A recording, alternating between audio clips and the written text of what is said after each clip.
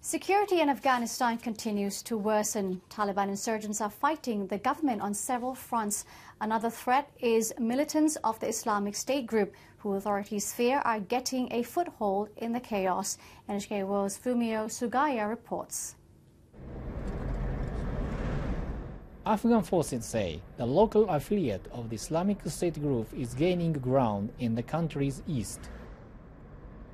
Government troops retook a town from them in July and found a trail of destruction and fear. The militants painted their insignia on all the shop fronts in downtown Kot, Nangarhar province. They seized the town from government in April this year. They used this building in the grounds of a mosque.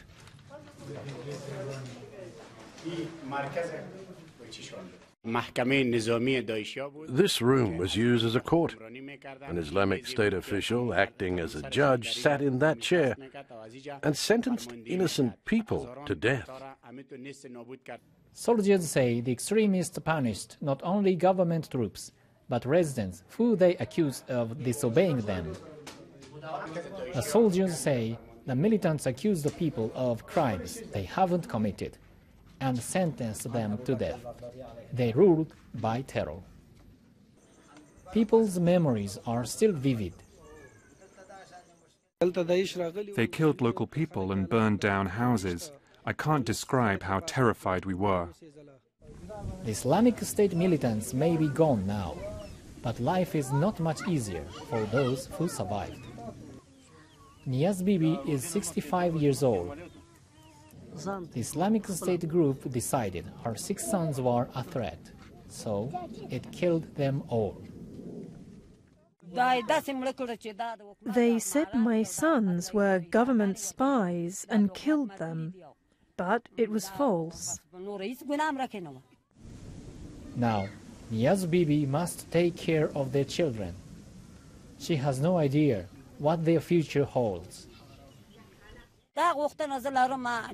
My heart is bursting with grief.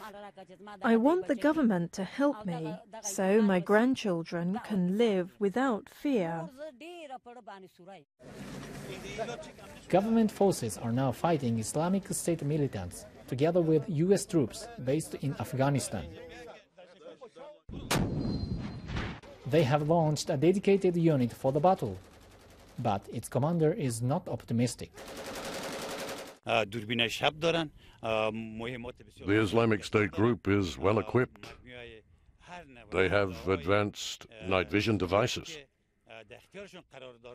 We'll have to fight for a long time before we can drive them from our country.